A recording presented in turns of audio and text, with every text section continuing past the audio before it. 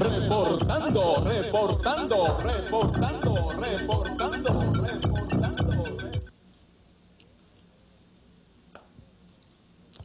Bueno, otra de las estrellas que se nos fue de la República Dominicana es Daniel Díaz Alejo. Tantas veces que le pregunté a Daniel, Daniel, ¿tú te vas? No, hombre, no, que va, yo no me voy. Bueno, pues aquí está Daniel también, aquí en Miami, eh, cobrando de los verdes. Dime, ¿qué estás haciendo aquí, Daniel? bueno, antes que no nada... me engañaste. No, hasta yo mismo me engañé.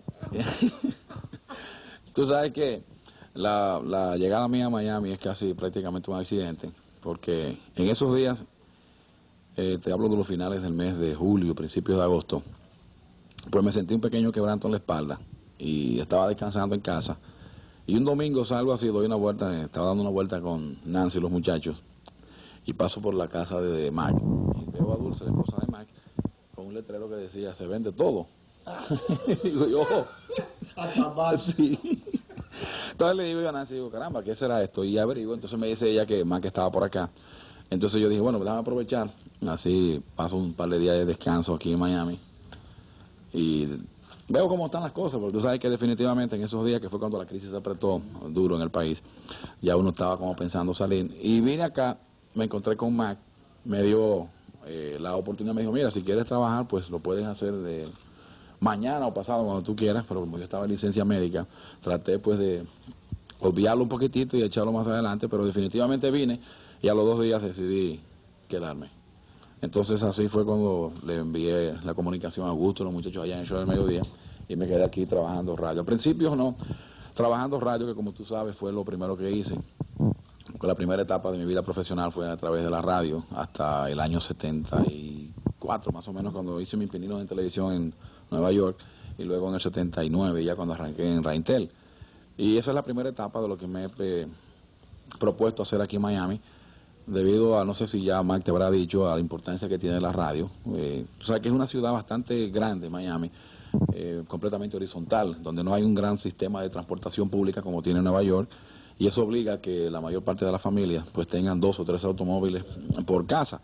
Y eso hace que la radio tenga una gran importancia porque todo el mundo se mueve en automóvil, especialmente en las horas de la mañana, de 6 a 9 de la mañana y en la tarde, 4 a 7, son importantísimas y Creo que por ahí se puede comenzar a hacer un buen trabajo en una comunidad como la nuestra que está pues prácticamente te puedo decir huérfana de, comunicación porque una cosa es simpática que sucede aquí, simpática pero trágica a la misma vez, mundito, es que la mayor parte de las demás comunidades, la nicaragüense inclusive, reciben información diaria de su país, de todo lo que sucede, y nosotros los dominicanos no. Aquí tú encuentras un noticiario, cualquier emisora, de 6 a 8 de la mañana, y te dan un par de noticias solamente. Y muchas veces en la, en la época de la pelota, ahora que estamos en la Serie del Caribe, en la época de la pelota de, invierno, pues uno tenía que llamar muchas veces por teléfono a Santo Domingo, bien temprano para averiguar quién ganó, porque entonces en el Daily, en el Miami Herald, lo que te publican la información del día anterior. Sin embargo, aquí los colombianos sabían quién ganó el día anterior, la noche anterior, en fútbol, sabían los nicaragüenses, los ecuatorianos. Y yo creo que por esa razón uno, eh, conjuntamente con Mac y otras personas que estamos acá, Tania y demás, queremos hacer un proyecto de radio al principio que creo que puede funcionar. ¿Y actualmente qué tú estás haciendo? ¿En qué área de la radio tú estás trabajando? Aquí ahora, eh, esta es una emisora que es semi-automatizada. Comenzó como esa idea, ¿no? Eh, que impuso su, su estilo, pero ya a medida que ha ido pasando el tiempo, pues nos hemos ido dando cuenta de que necesitamos un poco más de calor precisamente eh, a raíz de la guerra del Golfo, nos dimos cuenta que era necesario pues tener algo en vivo todos los días para poder darle la actualidad a la gente. Aparte de que eh, realizo la mayor parte de todas las producciones comerciales de la emisora, pues ahora a partir precisamente del próximo lunes estaré haciendo el, lo que le llaman aquí el afternoon drive, o sea, el programa de la tarde de 4 a 7 de la noche, es cuando todo el mundo regresa a la casa, pues estaré haciendo ese programa que incluye noticias, comentarios, eh, música, información de tránsito, información de todo lo que ha pasado. Es un programa que me da la oportunidad a mí pues de hacer cosas que de verdad eh, quiero hacer. ¿Cómo no, Daniel? Entonces definitivamente te quedas aquí en Miami.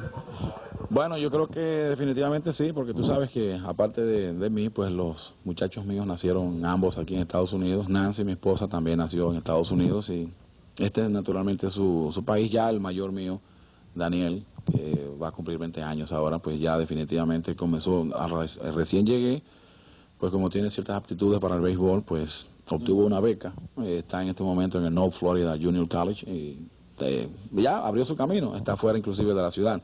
Y el segundo, Adrián, pues ya eh, abrió, se ha ganado un par de congratulaciones en, electrónica y en computación y creo que ya pues definitivamente también el muchacho, aparte de que continúa con sus estudios de karate aquí, pues ya es muy difícil que ellos regresen, al igual que, que Nancy y yo, así que no sé, uno regresará a su vueltecita porque nunca se puede olvidar, sobre todo el afecto y el cariño de gente como ustedes. Fíjate, eh, eh, está jugando entonces béisbol, el, hijo tuyo más grande, digo, ya que está en los cuartos ahora.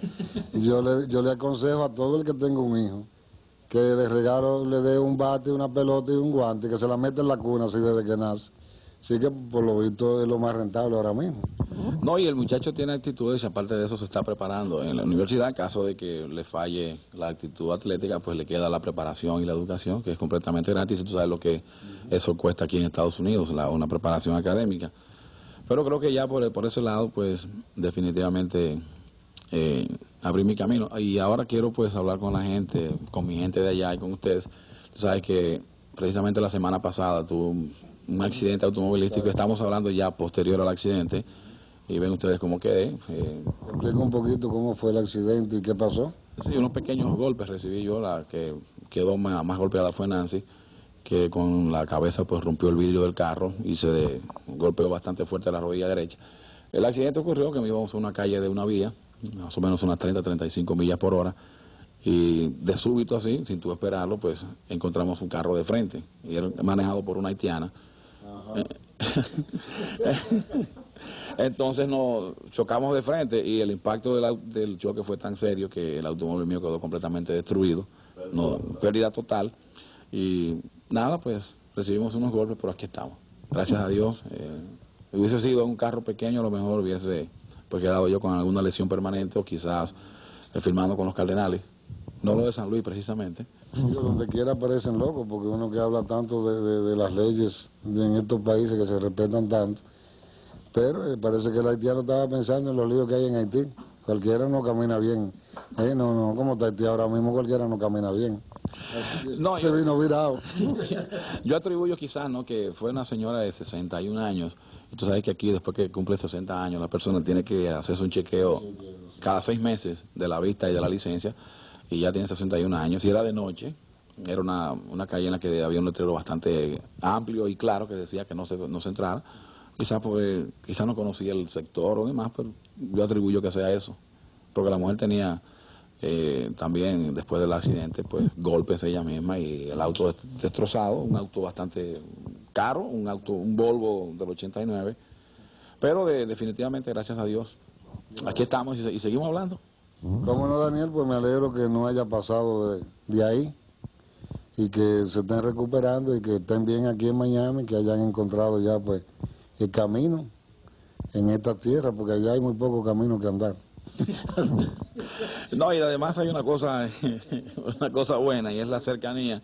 Tú sabes que yo siempre digo que yo llego primero de aquí a Santo Domingo que de Santo Domingo a Santiago en carro. Es decir, que estamos a una hora y 40 minutos y cualquier fin de semana pues uno tiene oportunidad de ir y de todas maneras también la comunicación telefónica porque es muy difícil uno olvidarse de su país y no solamente del país sino de la gente que uno tuvo oportunidad de conocer y tratar en esos años en que estuvimos de- después de nuestro regreso las amistades que hicimos y sobre todo lo que aprendimos en nuestro país y las oportunidades que nos dio. Eso es muy difícil que se olvide.